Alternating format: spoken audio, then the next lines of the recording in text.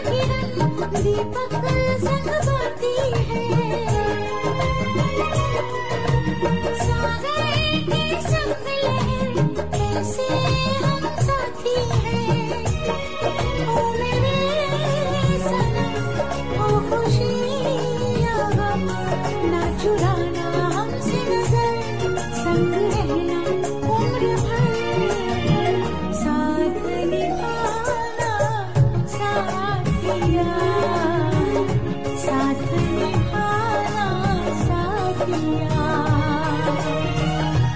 साथ निभाना साथी ऑटो उन्नीस अक्टूबर से रात नौ बजे स्टॉप प्लस और डिज्नी प्लस हॉटस्टार पर।